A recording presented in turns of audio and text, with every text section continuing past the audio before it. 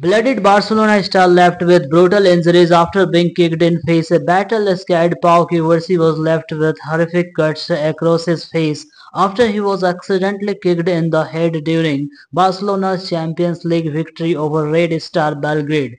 The Catalan Giants cruised to a 5-2 victory in Serbia on Wednesday night but there was concern for their 17-year-old centre-half when he was forced in the second half.